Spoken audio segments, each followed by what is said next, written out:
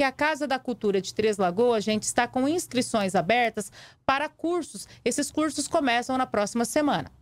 Os interessados podem procurar a Casa do Artesão, que fica na Avenida Aldair Rosa de Oliveira, em frente à Lagoa Maior. As inscrições para o curso de crochê já está quase se esgotando.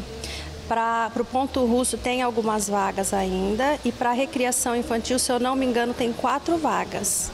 Quem pode participar? Crianças a partir de 7 anos, de todas as modalidades. Não precisa ser né, a recreação infantil, que é uma coisa nova na nossa cidade, é, foi criada no intuito de, de tirar as crianças da tela no sábado.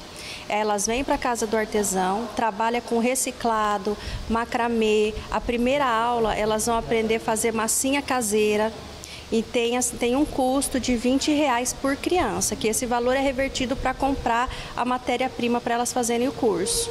Ainda de acordo com a presidente da Associação Costa Leste de Artesãos de Mato Grosso do Sul, Aline dos Santos, a ideia dos cursos é tornar a Casa do Artesão cada vez mais frequentada e conhecida. Não, não tem necessidade. O intuito desses projetos é trazer mais pessoas para a Casa do Artesão para conhecer o trabalho que tem aqui em Três Lagoas e para se tornar um artesão também. Aline explica como funcionarão os cursos. O crochê é de segunda a sexta-feira, é das 7h30 às 11 e das 14 às 16 É duas horas de curso e aí a pessoa tem que vir até a casa, fazer a inscrição e, e deixar o horário de preferência. É três alunos por aula que a gente atende. Então são três de manhã e três à tarde. O curso de ponto russo também são três por aula, só que esse é uma hora apenas. E a recriação é uma hora e meia no sábado. E vocês têm previsão de novos cursos? Tem, vai ter curso de pintura, costura criativa, intermediário e iniciante. Para quando? Para o mês de, a gente está em setembro, novembro. É, porque a gente está negociando com o professor. Por ser um curso mais extenso, precisa que o professor apresente o plano de aula, o que ele precisa.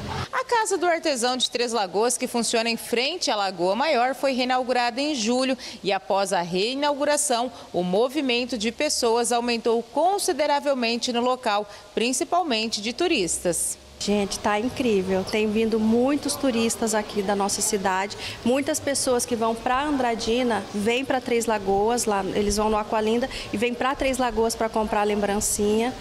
Tem, quando tem algum evento na cidade, a gente fica aberto na hora do almoço para conseguir atender esse público e, e só vem aumentando cada vez mais, graças a Deus. Qual que está o horário de funcionamento?